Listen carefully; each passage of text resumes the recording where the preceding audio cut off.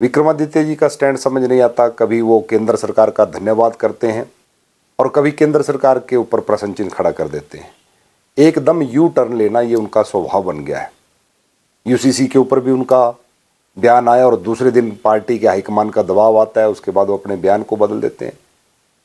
भारत सरकार ने, केंद्र की सरकार ने, मोदी जी की सरकार ने हमारे प्रदेश के नेतृत्व ने दिल्ली में बात की और उनके आग्रह पर तुरंत केंद्र से हमको लगभग सताईस करोड़ रुपए की प्रधानमंत्री ग्राम सड़क योजना के तृतीय चरण में हमको वो मंजूरी दो सौ तिरपन सड़कों की आई, जो सड़कें टूटी हुई हैं, जिनकी हालत ख़राब है, उनको ठीक करने में ये राशि बहुत मदद हमको करेगी।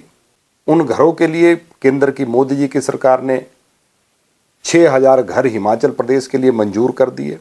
और इसके अलावा भी अलग अलग किस्तों में हिमाचल प्रदेश के लिए केंद्र की मोदी जी की सरकार ने दिल खोल कर मदद की, लेकिन हिमाचल की सरकार जो आज जिसका कोई तालमेल नहीं है, मुख्यमंत्री जी का मंत्रियों के साथ तालमेल नहीं है, और विधायक जो है वो मंत्रियों के साथ तालमेल नहीं है, और वो अपनी गलतियों को छुपाने के लिए केंद्र सरकार के ऊपर सारा दोष दे रहे हैं।